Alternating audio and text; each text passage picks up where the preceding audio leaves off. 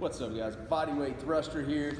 Uh, great movement to do for a longer interval or uh, cardio fusion session or any kind of blitz type uh, format where you're just doing a lot of bodyweight stuff. So you start off in a push-up position, you drop back, hinge those hips, and bend the knees, then you come forward, knock out a push-up, and then keep repeating that pattern.